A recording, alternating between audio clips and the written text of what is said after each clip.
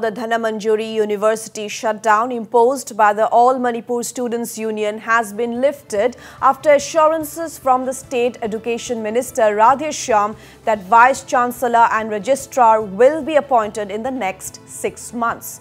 The university has been running without a VC and a registrar since mid last year.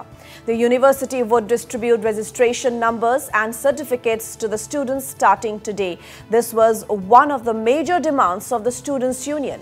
The Education Council would also be set up soon, the State Education Minister assured. AMSU General Secretary Anatham Bipin Chandra spoke to Northeast Live. Let's listen in. AMSU has lifted the ban that was imposed on them university for the last two days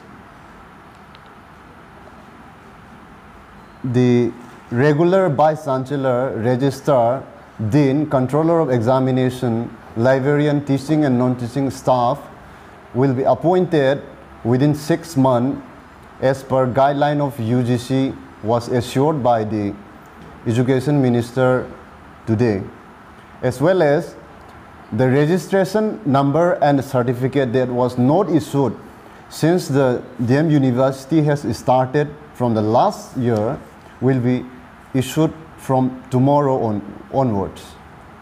So we have come to an agreement, we have come to an assurance that the demands will be fulfilled within this time frame.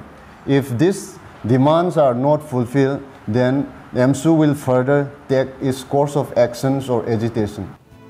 The AMSU, however, has threatened to launch massive agitational programs if their demands are not met. The university will reopen today. On June 24th, the student body had locked up the Dhanamanjuri University and its constituent colleges citing operational inefficiency and lack of basic facilities.